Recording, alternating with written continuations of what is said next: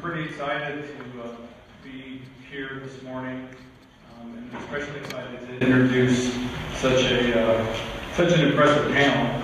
Um, the topic that we're, that we're queuing up, I think, is something that has um, the need for a really good conversation and good dialogue uh, for Wyoming. Um, as everybody knows, um, the Integrated Test Center's first tenant is going to be the, the Carbon Prize, and also the state and, and, and authority is working very hard to find opportunities for the larger test bay.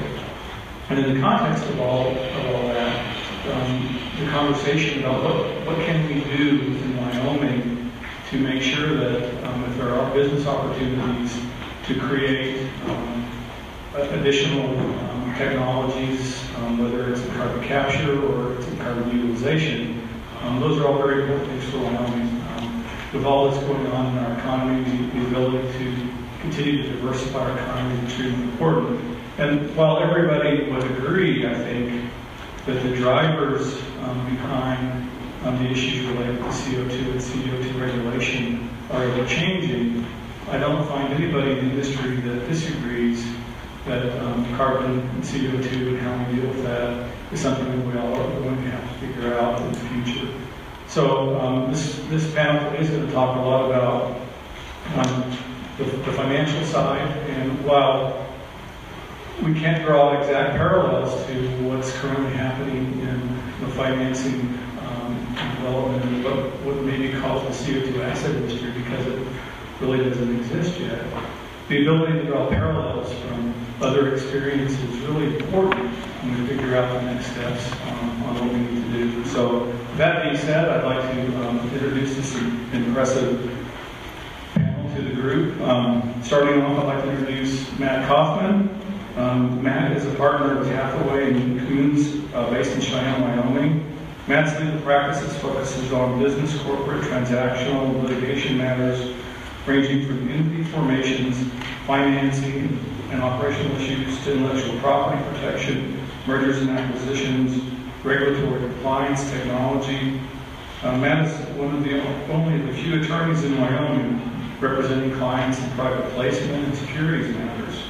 Matt's deeply involved in local and regional entrepreneurship. He co-founded the Wyoming Entrepreneurs Group that meets in Cheyenne, has a published academic article on developing entrepreneurship in Wyoming, a recent article on the newly passed crowdfunding legislation, is counsel to dozens of startups, emerging technology companies, and investing funds across Wyoming. He's an active tech and real estate investor. Additionally, Matt's latest venture includes being co-founder and acting chairman of the Array School Technology and Design, which is Wyoming's first private coding school. If you haven't been there, I recommend you go for a tour. It's pretty awesome. Um, in addition to graduating from the University of Wyoming with a BA and a JD, Matt has a, has a graduate law degree from the University of Colorado. He also serves on the board of advisors for the University of Wyoming Law School as a graduate of Leadership Wyoming and was recently appointed by Governor Mead to serve on the executive council newly established Endow uh, initiative. What are you doing on the weekends? anyway, um, very impressive. Um, also, uh, sitting next to Matt, uh, Liza Millet. Um, Liza is a, she's an experienced financial business development professional. She's passionate about entrepreneurship and creating opportunities in Jackson. She works as an investment advisor at Income Focus, Income Focused Portfolio Management, a Jackson-based registered investment advisor. She also runs the Central Wyoming College Silicon Couloir Startup Intensive, which is a 10-week entrepreneurial boot camp. She's a co-founder and board member of Silicon Couloir, a Jackson-based nonprofit whose mission is to nurture entrepreneurship in the Greater Teton region. She also founded and runs the Silicon Couloir Angel Mentor Network, the only angel investment group in the state of Wyoming. Liza has worked with a number of startup businesses, both on strategy, fundraising, and business development. Before moving to Jackson, Liza spent 12 years on Wall Street in the investment side of business. She started her career at Cowen and Company, worked at Goldman Sachs, helped grow one startup media company, and three startup hedge fund businesses in New York. Liza has an MBA from the Wharton School of Business, and graduated from Dartmouth College. She was most recently recognized um, as Wyoming Woman in Leadership Award as a Mentor of the Year. So she also uh, is extremely busy. Um, And I learned last night, um, she uh, works all this in, um, a very busy schedule. And we're just uh, excited to have her along with uh, um, the next uh, panelist I'd like to introduce Tom Chapman. Well, Tom is a principal with Teewinot Partners, a global investor based in Jackson, Wyoming, investing in hedge funds, real estate, and private equity funds. Previously, he was the vice president with Gardner Capital Management Corporation, a New York-based family office where he managed the firm's real estate and hedge fund investment strategies. Tom is a founding member of Colony Capital's Asian real estate business based in Singapore. Previously, he worked with Tiger Management as a research analyst and at Goldman Sachs. Started his career at Tudor Investment Corporation, where he worked as a proprietary global macro trader in London. Tom is a trustee of the Wyoming Retirement System and is the chair of its investment committee and serves on the governance committee. He currently serves on the finance committee and is chair of the investment committee for Francis Parker School in San Diego, California. He serves on the board of the Institute for Arts and Humanities at the University of North Carolina in Chapel Hill. Tom served on the JDRF International Board from 2010 to 2016. He was previously chair of the Investment and Nominating and Governance Committee. Tom currently serves on the Research and Investment Committee and serves as a board observer with BiSite Inc. Tom received his BA from the University of North Carolina, Chapel Hill, and his MBA from Columbia Business School. So as I, as I went through the, uh, the introductions and the bios, um, I've convinced myself that I am a horrible underachiever. Um, but, but I will, I will point out this, that um, this is an exceptional panel, very, um, very well put together from the uh, perspective of content, and I think they'll be able to give us some valuable insights as we look on, uh, on the issue of how to, what we need to do to create the financial ecosystem to support the development of our technologies. So with that, I will turn it over to our first um, speaker, and that will be, let's see, Eliza. Yes. Eliza, we'll turn it over to you. Definitely use the mic. Well, I'm um, thrilled to be here, and I wanted to sort of touch on three things to start. And one, I wanted to talk about Silicon Couloir and the entrepreneurial ecosystem that we've built here. It's not, I don't think it's on. It's not, maybe. Better. There you go. Um, so I wanted to talk about three things, and that was first I wanted to start with Silicon Cool Couloir. I was one of the founding board members about six years ago, and what we have done to build an entrepreneurial ecosystem here in Jackson. Then I wanted to touch on what I know about the early stage investing landscape here in Wyoming. And then I wanted to touch very briefly on some thoughts on specifically investing in carbon capture, which I know very little about, but I think you'll find those comments slightly relevant. Um, so about six years ago, I moved to Jackson 10 years ago almost from um, New York City. And I spent my college summers working on dude ranches out here, so I always wanted to come back. And that's um, my Wyoming sort of story as my father brought me out here to work on, come out to a dude ranch in our family when I was 15 and I was pretty much hooked. So, um, but when I got out here, I was sort of, I spent a couple of years living under the radar, and then I decided I was tired of talking about skiing all the time. I love to ski, but and I love to bike, but I didn't want to talk about it all the time. So I got a group of people together to start an angel investment group, um, so we could talk about, you know, the, the interesting situations where we're seeing here and in other places. And we started that in about, right, right in the depths of the recession. So it was a lot of talk for a long time. And I think the first three years, no one got an investment. But it was still fun, and that sort of morphed into co-founding Silicon Couloir. So Silicon Couloir is a 501c3 whose mission is to Originally, it was to nurture entrepreneurship in the Tetons, and now it is more specifically to align entrepreneurship with community vision. And that's because, especially here in Jackson, our culture, and, and really in, in most towns, but our culture here is so important to all of us, and that's why we moved here, and we want to make sure that that culture is preserved for future generations, as talked about in our local comp plan, and then how can we find really commu, how can we grow and nurture community-minded entrepreneurs? Um, not just any entrepreneur, but community-minded entrepreneurs whose values reflect the values that our community holds. Um, so what started as an email that went out to a big group of people saying anyone that wants to talk about entrepreneurship, let's meet at Shooting Star on the first Monday of the month. And it happened to be during spring break. And we thought, hey, if anyone shows up, that's cool. And if no one does, we'll have, the four of us will have fun having some beers.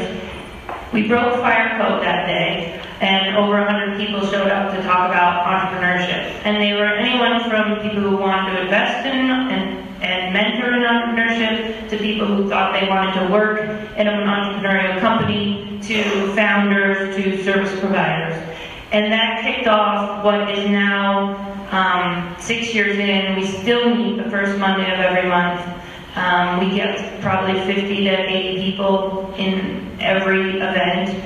We have a speaker, or we started out with just something we called two-minute drills, which were we would find entrepreneurs and let them speak for two minutes about, what they were doing, and we just find five of them. So our content was like 10 minutes, but it was sort of introducing people in the system and what they were working on.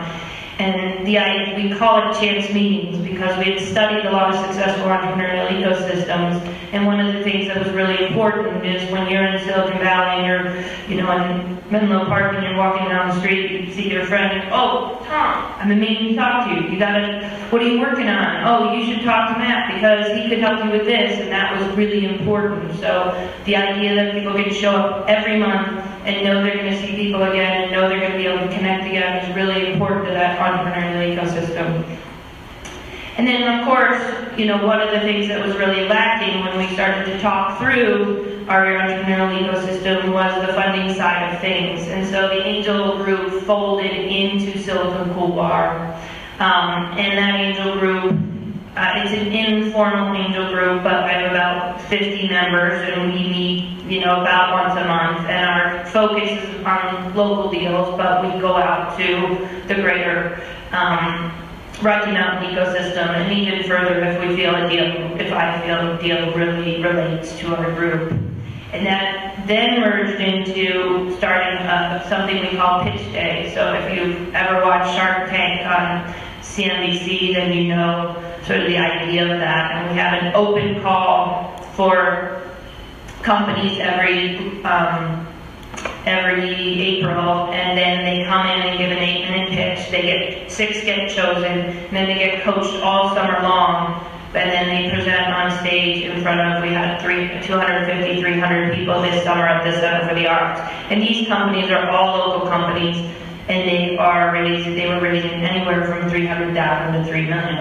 So, and just, uh, you know, our numbers are not that big. This, our, I did a calculation last night for you all, and our angel group had 15 companies present last year, or in the last 12 months, and um, six of them have gotten funding, and that, but that ranges about sort of $1.2 million.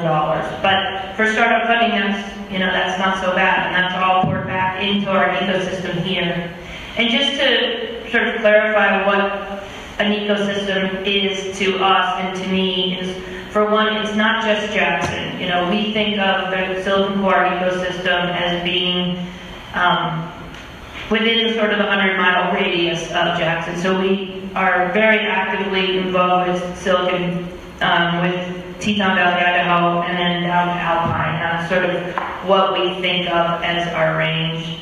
Um, and then we also think of an entrepreneurial ecosystem needing, first of all, you need the companies, the entrepreneurs that want to start companies. Then you need the people that want to work for startups and have the skills necessary. You need the service providers like the lawyers and the accountants and the social media experts you need the mentors, which is incredibly, incredibly important to these small entrepreneurs. You need the funding, and that's sort of the circle that we think about. Um, so I'm more than happy to, you know, answer any questions about Silicon Couloir later, but I think that fits really nicely into, you know, Governor Mead's endow, which is, you know, we, we have, we need a third leg to this, you know, state economy. And I know that often in Cheyenne they talk about technology, and I think in Silicon Valley we talk more about growth capital companies because technology may, I mean, all companies really use technology these days, so what does that even really mean? If you're a retail company and you're selling online, you're using technology. But, you know, in particular here, the companies that come through have no real, so this year at Pitch Day, we had a, um, we had a vitamin supplements company that had six deals with the NFL. We had a company that was um, doing an online travel thing.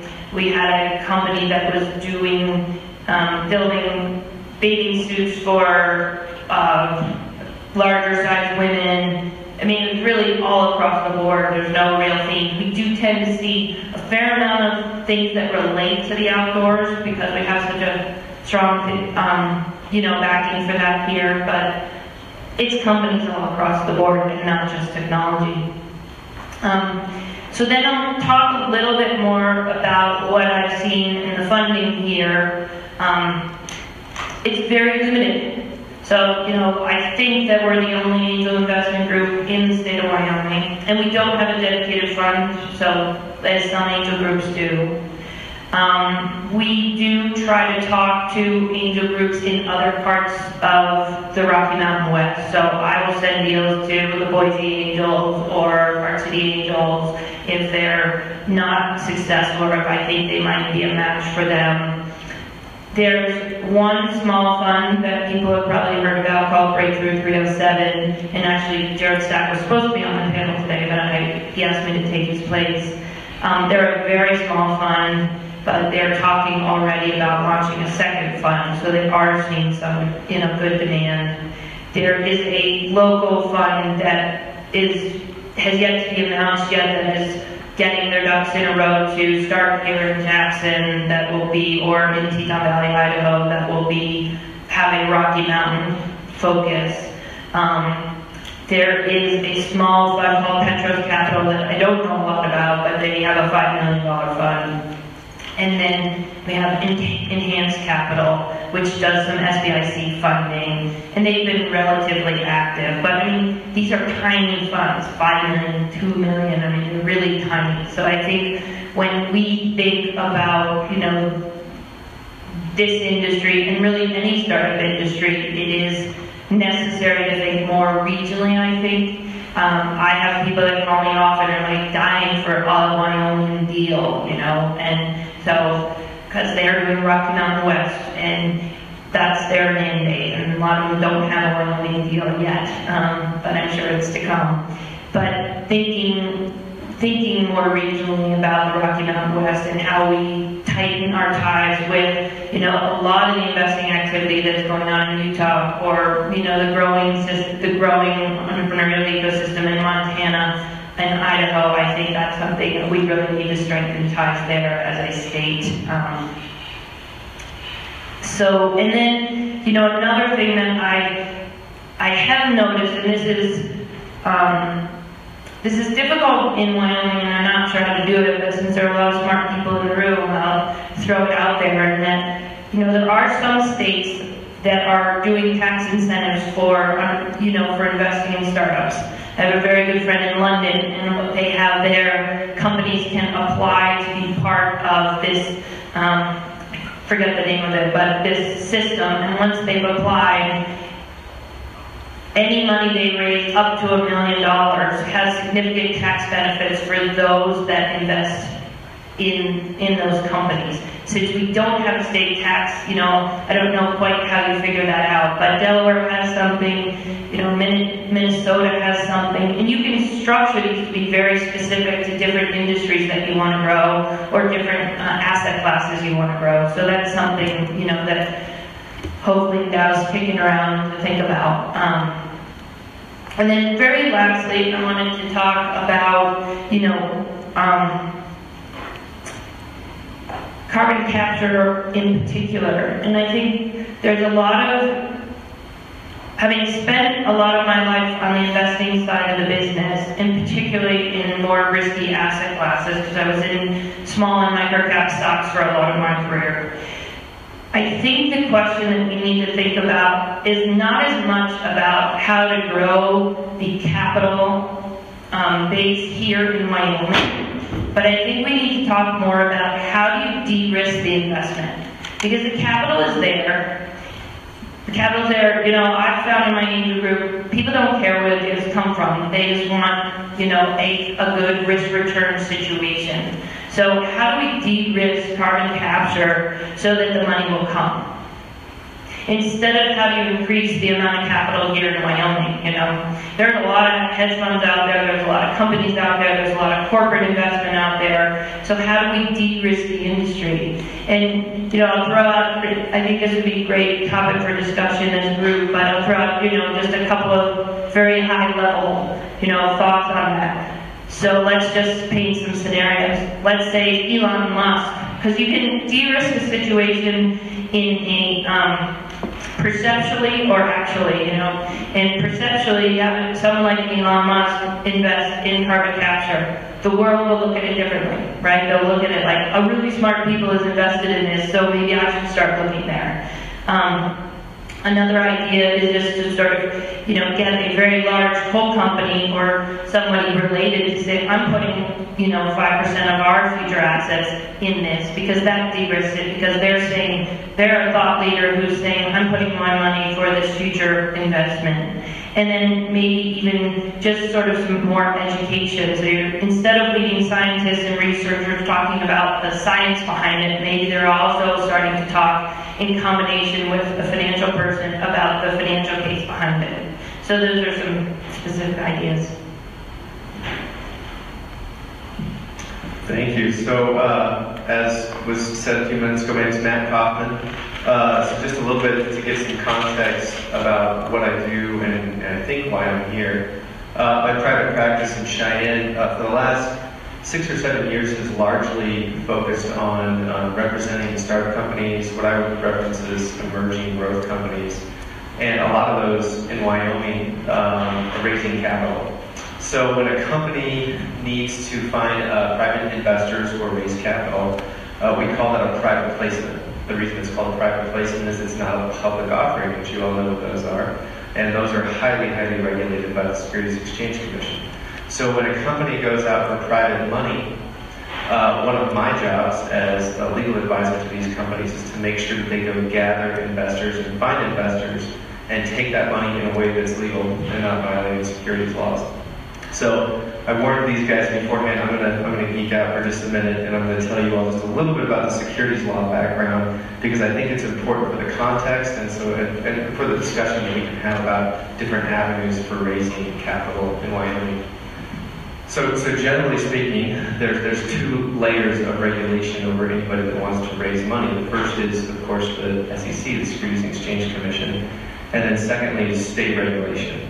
Fortunately, in Wyoming, we don't have a lot of particular state regulation. I'll talk about uh, some of it in, a few minutes.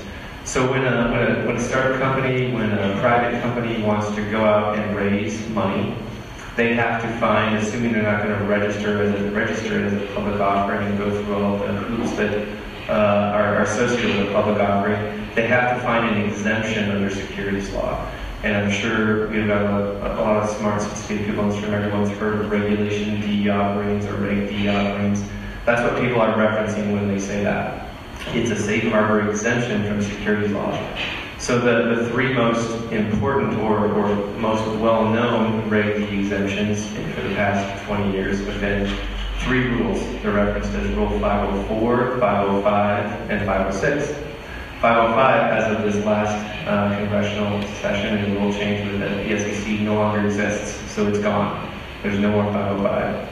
So we're left with 504 and 506. So 504 is a small, small company exemption. That basically says if you're raising up to a million bucks, um, you can, you have to file a registration with the SEC, but you can go raise up to a million bucks. The disclosure requirements are really limited. You don't have to disclose to investors a whole lot the offering documents can be pretty minimal. so companies don't have to spend a ton of time and resources developing what those offering documents look like. Rule 506, and, and by, by the way, almost no one uses 504 ever. I've never done a 504 filing, so 506 is the is the one that everyone uses.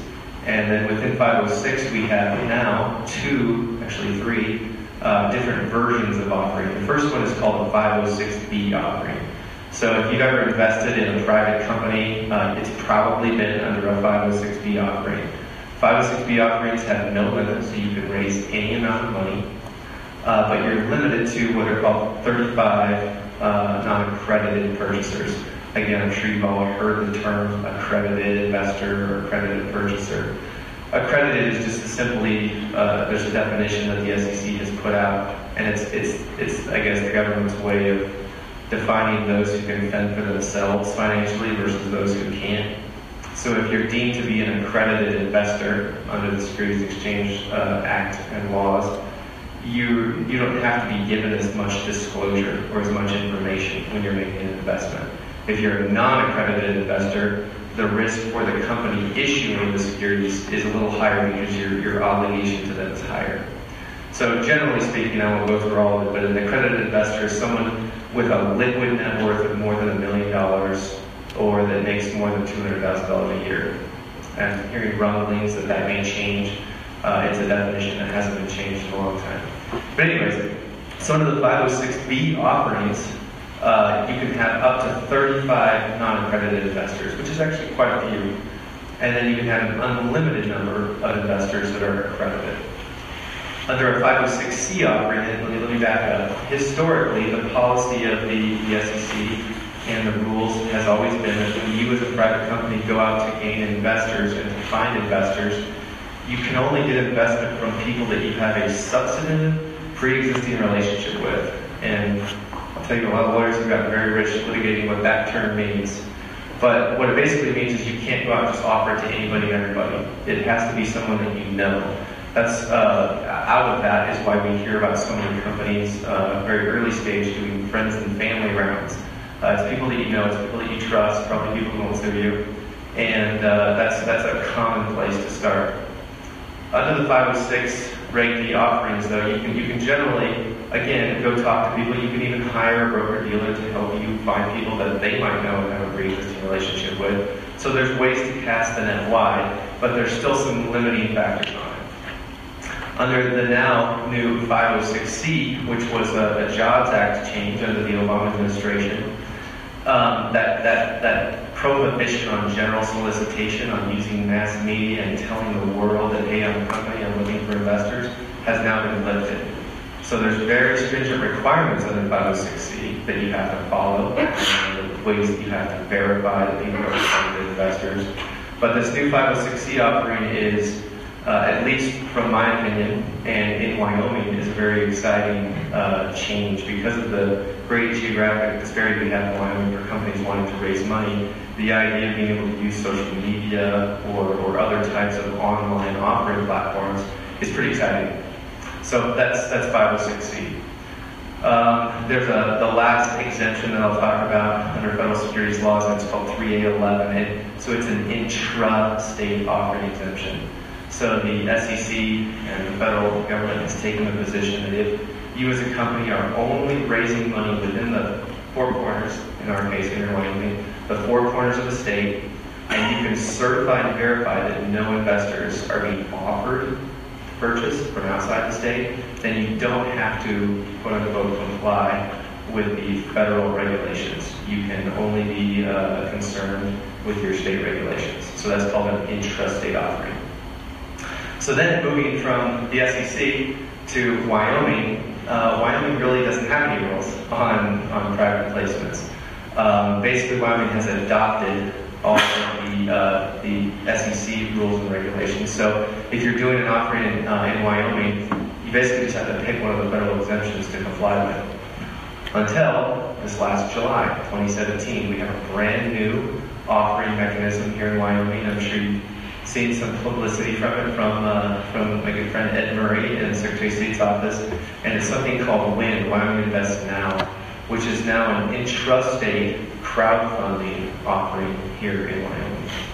So crowdfunding, I didn't really talk about that as one of the avenues under the Federal Securities Act because for the, uh, for the, for the, what we call Jobs Act crowdfunding, you still have to find a federal exemption with which to do that offering. And crowdfunding was kind of meaningless there for a few years when it was first passed because of that general solicitation ban that I talked about.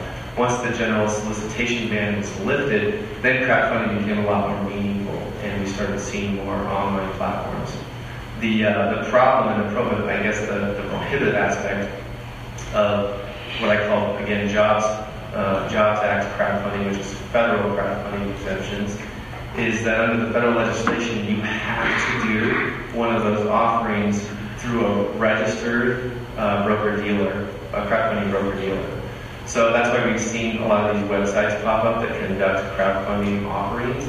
Um, there's only a certain number of them that are even registered and permitted to do Jobs Act crowdfunding offerings, and you have to use one of them if you're a company.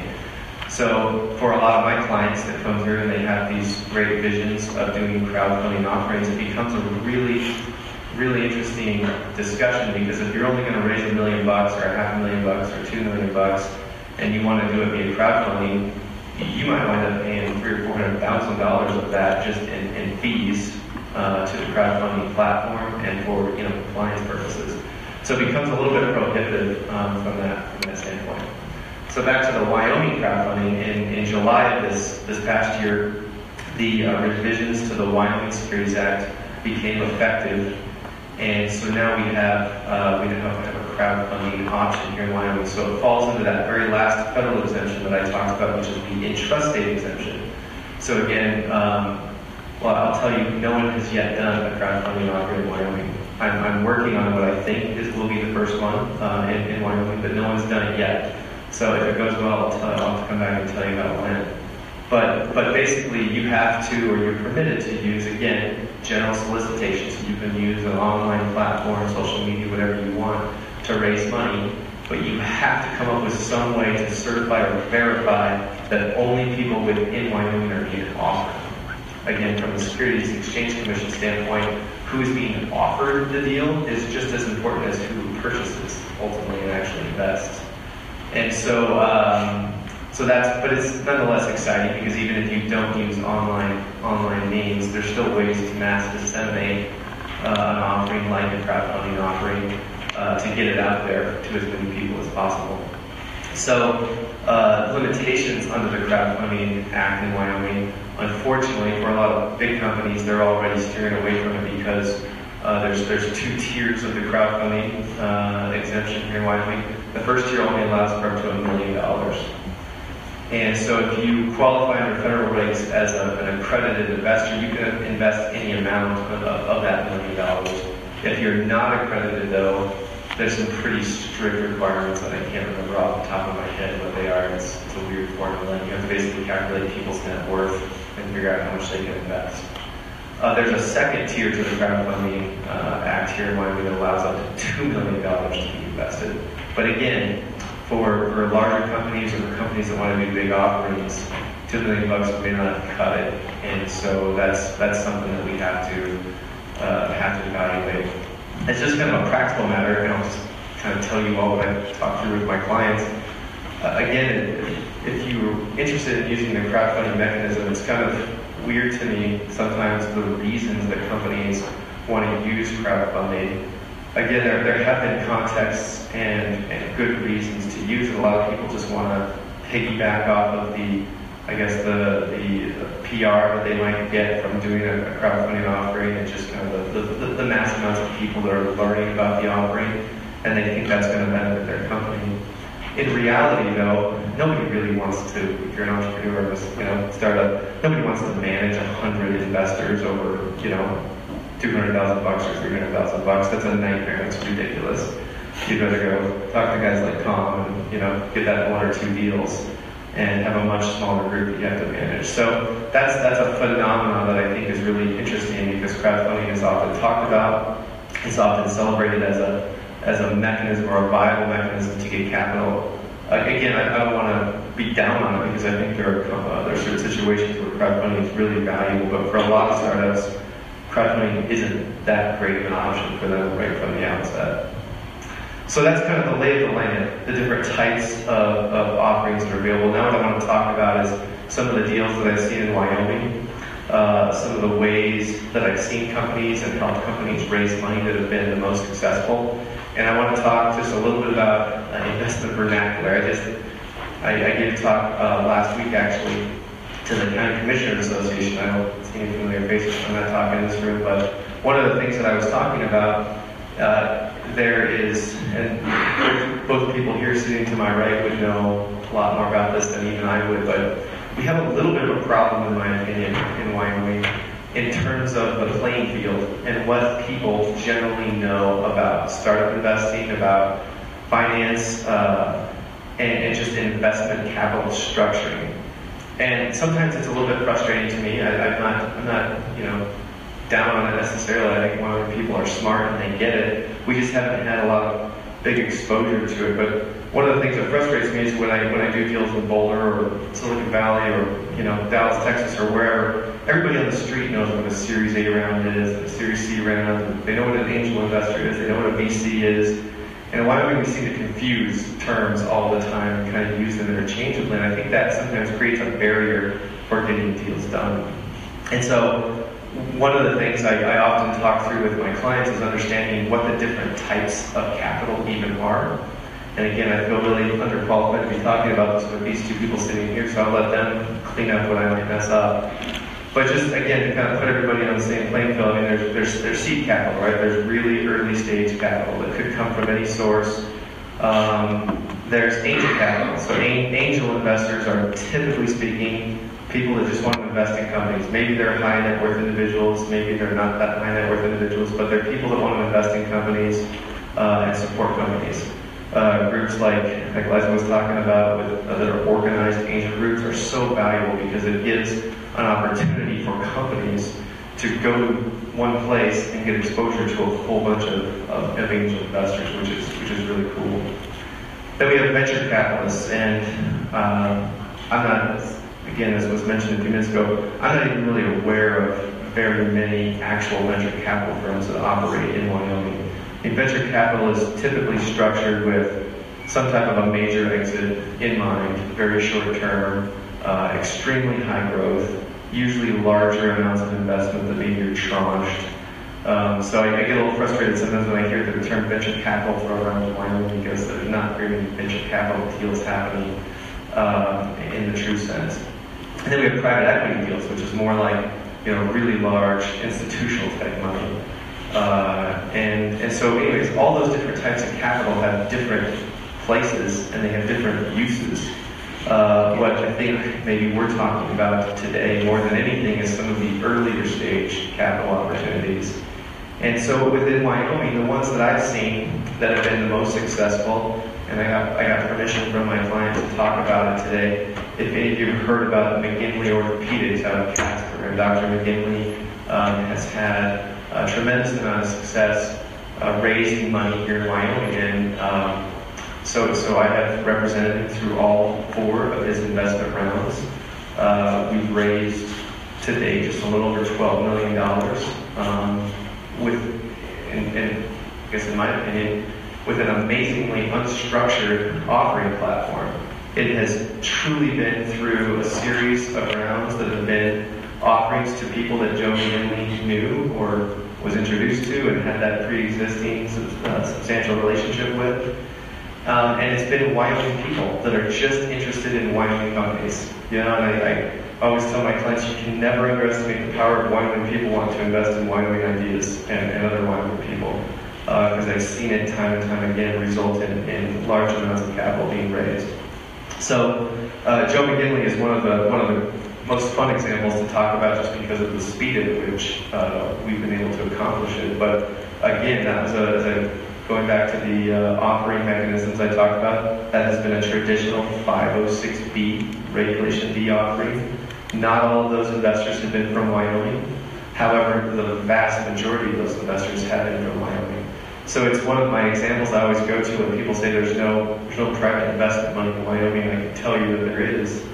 And uh, the guys in Silicon Valley might refer to it as dumb money, I think, because that, that's not meant to be a, Uh, Jordan term, I don't think. dumb money just being people that aren't necessarily versed in, in offering structures and don't know exactly what terms. You know, if you get an offering from a, from a venture capitalist, you're going to get a term sheet with all kinds of terms, everything from, you know, the valuation of the company all the way to liquidation rights, you know, on the company going public. And so when, when we went to Wyoming investors, I think, again, nobody was taking advantage, but we were able to simplify the deal from an investment structure standpoint, say, look, we got one class of, of ownership here, everybody's on the same page, um, here's the company valuation, here's how we arrived at the company valuation, here's what the product is, here's what the company is, here's where we hope to take it. So it was really, it was really fun to kind of have that transparent conversation with so many investors across the state of Wyoming and truly just see them believe or invest in something that they believe in and something that they believe can make an impact in Wyoming. So that's that's one example. On, on the opposite end of the spectrum, I also represent a lot of energy-related clients and have helped them with a number of different uh, regulated offerings. And uh, again, it's it's it's ranged everything from from the Joe McGinley spectrum that I just talked about, all the way to you know one of my clients was successful in going to one uh, LP, limited partnership, publicly traded, and got complete funding for his project from one LP. And it was still, uh, as I said, I call it a regulated operator. It's technically you're trying to be an unregulated operator, but anyways, um, so, so that's that's kind of the opposite end of the spectrum.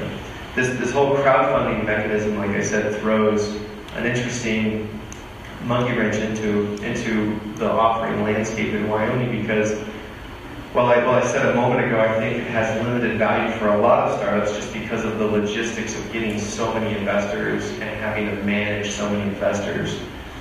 What I am finding with some of the more sophisticated companies and clients I have is they would like to explore the opportunity of doing layered offerings. So maybe we do a 506 offering on top of a crowdfunding offering. And so you can take advantage of potentially both at the same time. So you can simultaneously go after the big investors and try to limit the number of investors you have and maximize your capital structure. But at the same time, you can go and do a crowdfunding offering to try to get that, that mass appeal and that mass media um, uh, PR benefit that, that so many companies want in conducting their offering. So anyways, I don't know how long I've been talking, I'll, I'll shut up for a while, but that's kind of uh, some of the I guess, the different ends of the spectrum of, of offerings that I've seen successful in Wyoming. Uh, when we get to the question and answer, if anybody has any questions about specifics, um, I'd, I'd, love to talk about some of the things that I think have made offerings more successful in Wyoming than others, um, and some maybe ideas looking forward. But thank you very much. Thanks, Matt. Um, and thank you to the to Mike and the WIA for um, having me speak. Um, I, uh, what I'm going to talk about, I guess this is kind of a bottoms-up sort of panel. I think I'm going to be the generalist here because um, I'm certainly not an energy specialist, and as I say, I'm an investor. Um, and so what I'm going to talk about a little bit is the early investment process, and from the vantage points, since I'm investment chair of a pension, and endowment, a foundation, and also a private investor in a family office, so I can give some views from that standpoint. Um, and also, I want to give some infrastructure uh, investment, um, I guess, thoughts as we've been looking at it through the various entities. Um, and then lastly, I just want to make a few comments in terms of funding um, with Wyoming's Economic Development Large Project Loan Program that we have in the state, which is very, very important.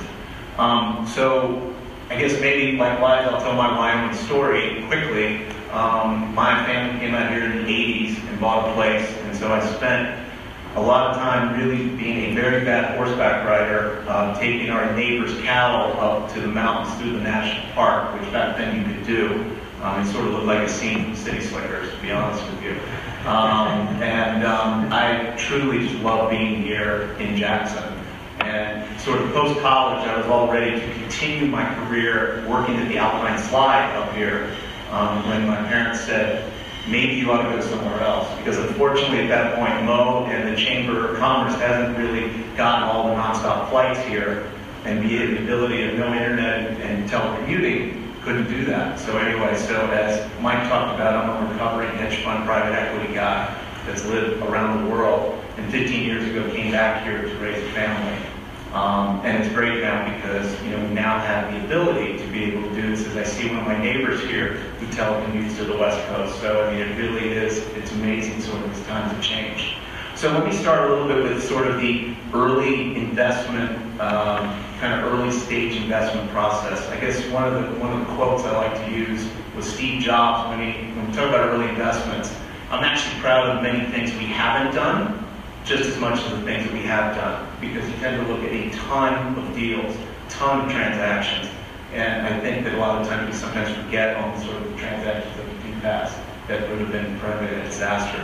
So one of the things I'll talk about is sort of what is a utopian sort of scenario or the perfect deal in terms of when we look at kind of early stage transactions. And, you know, we sort of look for investing in market-leading businesses that are operated by dynamic entrepreneurs. And these are big market opportunities. And of course, at reasonable future cash flow multiples. I mean, that's really what we're looking for. Please call me when you find one of these. Um, I really, really would appreciate it. Um, and, you know, in terms of our investment process, you know, we basically source through our networks. I mean, that tends to be really the best process. And I'll get a little bit more into almost, I think early stage deals is really, it is localized, almost like real estate to some degree. And so I'll get a little bit more into that. Um, you know, in terms of due diligence, you know, we really focus on domain knowledge and track, track records and history.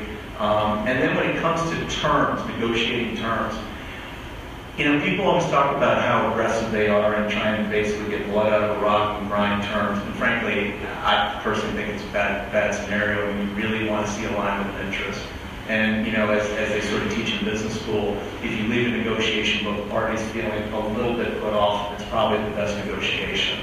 Um, because you want to see alignment of the general partner and the limited partner. It's incredibly, incredibly important.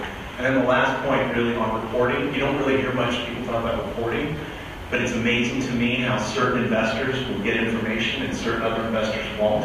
And that creates a real problem and it creates almost disingenuous. And so I encourage are companies out here with investors, make sure that everybody gets the same information. It's just incredibly, incredibly important. Um, you know, when we're also sort of looking at the early stage investments, you know, in terms of survival, and so we sort of talk about, you know, this thing's got to have a must-have product, any product or technology really, you know, and really understanding that cash is king. Um, you know, it's really also being trying to look at with your competitors, sort of best of breed within your competitors, and then you know, really, what is that pathway to profitability? And then when we look at sort of the operational review, you know, I mean, we try to look at sort of what is the next generation. Does the next generation really, does that mean a decrease in headcount? What does that mean? What does that mean in terms of the next version? Um, you know, what sort of features within, quote, the product or the main thesis of the company is really absolutely essential. Um, you know, then when we start talking about G&A and marketing costs, you know, effectively, you know, how do we get a return on this expense?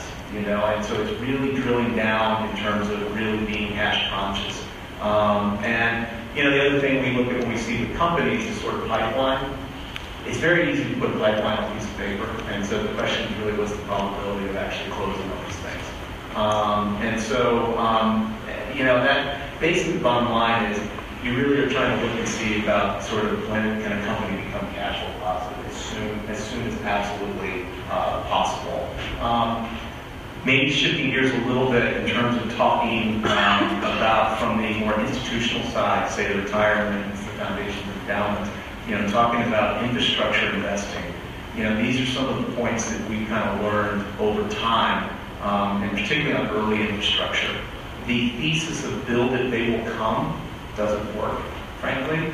Um, say toll roads, where people will drive on the free roads a much longer period of time than people really realize. It's kind of a changing of habits, and so it's very challenging. Um, you know, we try to look at basically projects that have some sort of municipal backing, um, so you know there's some sort of backstop. And I think it's very analogous to development deals in real estate, where it needs to be done in phases. Um, and I think one of the other things, and this is more of a general U.S. issue, we tend to do more infrastructure deals in Europe than in, the U.S. And the reason is, is because of the public-private transaction. It's very challenging for U.S. companies to own infrastructure. very challenging. And so because of that, you see very little money in the U.S. going into transport, water, et cetera.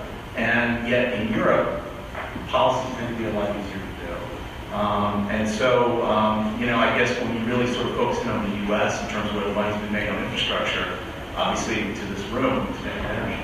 Um, and also data centers and cell towers have been attracting a lot of capital. Um, you know, my last point, more Wyoming specific, is really talking a bit about the economic development large, uh, large project loan program. Um, having been on the retirement board for seven years, I've had the pleasure of working with Treasury as the uh, treasurer, Mark Gordon, serves on our board. Um, and, you know, I think this is, for people that are not familiar with this program, this is a $75 million loan program within, housed within our treasury funds. Our treasury funds are now in excess of $20 billion. Um, and basically, the Wyoming Business Council gets uh, applications for loans. They process it. It's then brought to the State Land Investment Board, which is the SLIB board, which is our publicly elected officials, uh, to decide. And then the Treasury really then digs down into sort of the credit qualities, et cetera. Um, and then eventually the governor is the one that really gives the final okay. Um, these loans are incredibly um, attractive, um, given that they're given at uh, treasury at 10-year bonds plus 50 basis points. So today that's 2.85 percent. So boy, as an emerging company, I sure would like to get one of those loans. Um, the state can't take equity in companies, and so that's against any state statute. Um, and you know, the other thing is, I think the state's now starting to work a little bit more with community banks, since obviously they understand these businesses being locally on the ground. Um, and so I, I know, I think, I should probably ask Leland over there, I think they're just, we're talking about changing that in terms of some statutes. Um, but again, alignment with the banks clearly makes sense. And so I, I just, my comments here, I think this is an absolutely great program. And, you know, again, dovetailing on what Liza and Matt were talking about. Um, but I do think from my investment experience, what I would, I think in terms of this, this, this program needs to be a little bit more thoughtful. When you do the risk of these transactions, um, you know, the, lack of ability for the state to take um, equity stakes to it um, is a challenge. Um, generally, in venture capital, there's sort of a negative view of the 80-20 rule, where basically 80% of venture capital deals fail. And so because of that, it's generally little bits of capital spread out amongst each bigger portfolio. And, you know, I've seen with this program, 75 million, that it's, it's fairly concentrated. Um, and so I would suggest that the state, one, not only try to expand this program, but also have the ability to maybe change some state statutes so they can get equity. Because the problem is if you did it through a loan, you know, the, the, the risk associated with these deals and then what the state would have to get compensated for would not be viable in its capital structure. It just, it just wouldn't work. Um, you know, other states are having trouble with this too. I know Colorado commiserates with Wyoming a little bit on this. Uh, Louisiana's actually done a pretty good job in terms of bonding a lot of these projects, and so there's been some good public-private partnerships there. Um, and, you know, I think one of the issues is really Treasury staff spends an inordinate amount of time working on these because it's very important to make sure that the state's money is spent wisely and it's their fiduciary responsibility. The problem is it's $75 million out of 20 billion. And so therefore, what I think needs to happen is, and one of the great things, I can't thank the legislature and the governor enough for both working with retirement and treasury to expand staff on these issues. I mean, remember, Wyoming has collectively $28 billion of, of assets. And so what we've been really, again, the state government has been very good at sort of helping us institutionalize this. But I think this particular program, and particularly this sort of subject, that it'd be really important that we sort of expand and grow it and make sure that we have the bodies to be able to do the proper analysis. So I'll, uh, I'll conclude there.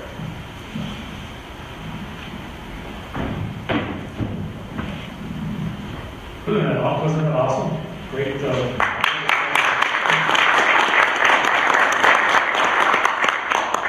I think we have a few minutes for questions. Um, I'd like to maybe lead, uh, lead with the questions sort of, um, for the, for the panel.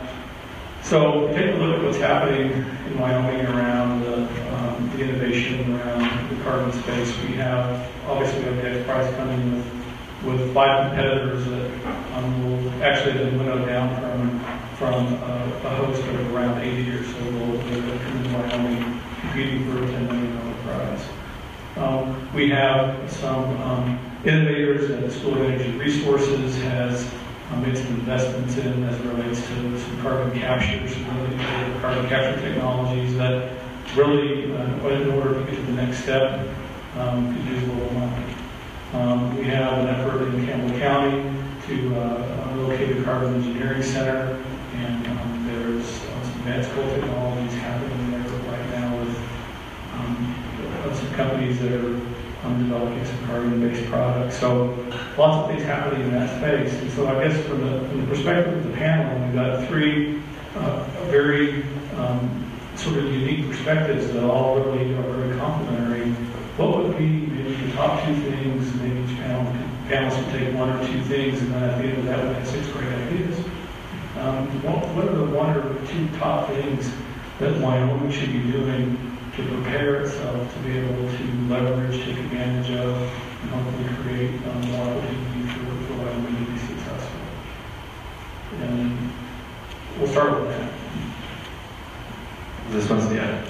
I'll, I'll jump on that because uh, I'm actually going to jet out of here and go to my Endow meetings. Uh, so, sort of, I guess, dovetailing off of what we've been working on at, at Endow, the subcommittee that I'm on for Endow, for some reason, has been named the Public Policy uh, Subcommittee, but it's a little bit of a misnomer because the uh, thing that our committee is really looking at closely is this idea of the entrepreneurial ecosystem in Wyoming. And so uh, our subcommittee, and I'll just go ahead and put it out there for, for criticism, our subcommittee has taken the approach a little different from some of the other committees in that we don't think that the recruitment of, of large companies necessarily needs to stop, but it hasn't proven to be real successful in Wyoming.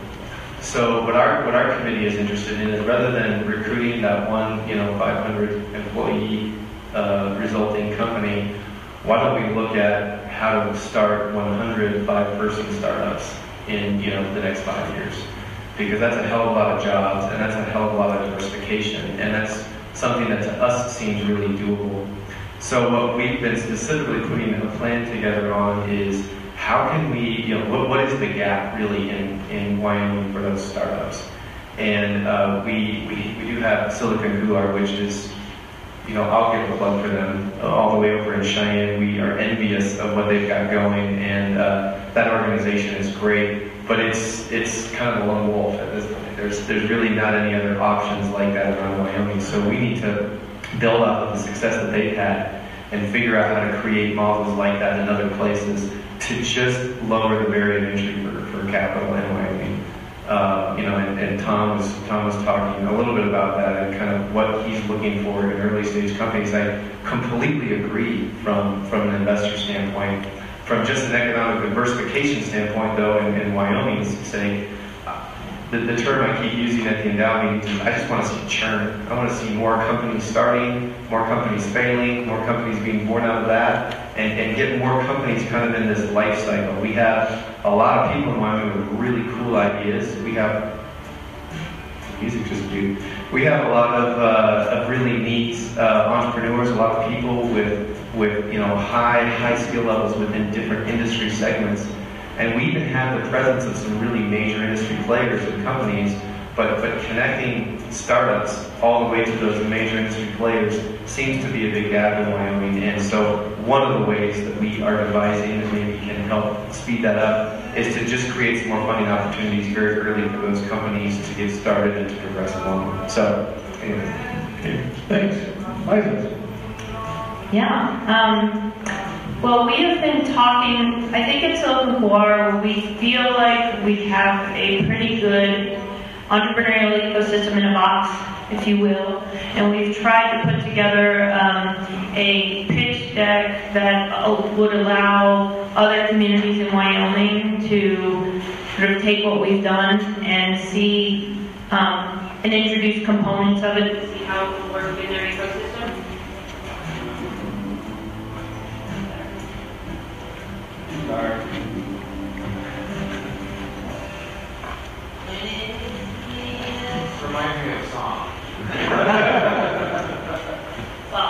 i have a loud voice so i'm is everyone hearing me?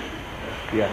So yeah, so we're talking with Endow and their preliminary stages. I'm not, I'm not involved with, there's another board member who's leading it up, but we're talking with Endow about trying to export what we've done here to other parts of the community. And maybe that's even doing a first Monday everywhere in the, you know, five or six different communities in the state where we can take the content, because we found that co- gathering entrepreneurs in a room or gathering people in a room to have beers is not hard, right? But figuring out the content that's going to nurture the discussions, the, the networking, all of that, that is hard. So we've talked about finding other um, communities, we've been talking Matt about this, uh, in Cheyenne, about feeding our content in to another group of people meeting at a bar that are, that are interested in entrepreneurship until they have the potential to sort of nurture their own content. And then that way there'd be first Mondays, other places in the state that could see, you know, and it may only be at the start, four people in the room. It might not be like here where it was a hundred people in the room, but it's gotta start somewhere. And if we're talking about a five-year lead, you know, um, there are a lot of smart people that and a lot of young people who are looking to do something other than traditional economy things in Wyoming and getting them in the room, getting them talking, and showing them that that is valued in their community is a really great place to start. So I'm more than happy to talk to anybody about that for their community and how we would think about that. Um, from Summit, we have graduated 100, and I didn't really talk about our Startup Intensive program, which is a 10-week intensive entrepreneurial boot camp that we do in combination with Central Wyoming College, who has a campus here in Jackson. We have graduated 103 people from this program. It's a 200-hour, it's three full days a week for three weeks, or for 10 weeks, and we talk about oh, nine to three for three days a week. The, we graduated 103 people. The majority of our people have come from Jackson, but two or three people from every class come from outside of um, actually outside of the state. They're here skiing, they heard about it, their mom, dad lives here, they've heard about it. You know, we've had a couple people from Riverton come take the program. We'd like to figure out how to get more people into that program, but from a state funding perspective, um, we've had, when we started the program, we found it was pretty easy to get workforce training grants for entrepreneurs. And then now we have a very, very hard time getting workforce training grants for entrepreneurs. And I think that's really interesting because we've seen a lot of job creation in the startups that have happened out, coming out of the startup intensive. And arguably, I would say there's more job creation in doing that than spending workforce training dollars on, you know, an existing business that's not going to hire anybody. So maybe trying to figure out how do we how is that workforce training dollar more effective in growing and encouraging the entrepreneurial ecosystem throughout the state? Um, that would be something that's important. I think also you have to nurture what you value, and if we're really talking about building an entrepreneurial ecosystem here and building, you know, growth capital companies, then we really need to think about some, you know, our pitch day prize is five thousand dollars. I mean, it's ridiculous, especially given we're the richest county in the country, you know? Five thousand dollars is nothing. Most other states, most other communities, I think the UW one is fifty thousand dollars, the one in, um, there's a new pitch day in, um, on the Bighorn region, I think their prize is something like maybe twenty thousand dollars. Those are paltry, you know, they're tiny, you can't grow a company, you can't even hire a person, you can't even build a website for that sort of prize. So if you're really valuing it, then why aren't we doing five hundred thousand dollar prizes across the state, or five million dollar prizes across the state that's spread out from the three winners, so you can, companies know that this is a place that values entrepreneurship, that funds entrepreneurship, that puts their dollars behind entrepreneurship. I mean, a million dollars in prize money would say a lot to the entrepreneurial community here, but it's a tiny drop in the bucket in terms of that whatever 20 billion that Tom was talking about. Um, and these Wyoming Business Council funds, you know, I've had, there's only one or two startups I know that have managed to get those funds because there has to be, and correct me if I'm wrong, but there has to be a real estate component to those funds. And I think that, especially here in Teton County, where land is such a, um, such an issue, and we're trying to think about companies that complement the natural resources here and complement our values. Real estate isn't really what we want to talk about. We want to talk about companies that have, you know, four or five really smart people in one room with phones and internet that can grow, uh, you know, a, a, a billion dollar company, not one that has to have a humongous footprint on our environment. Um, so I think changing sort of the, the funding mechanism of those Wyoming Business capital funds, I understand real estate, in other parts of the state is good, but it might not be the right mix for encouraging entrepreneurship going forward in our new economy. I hope that helps.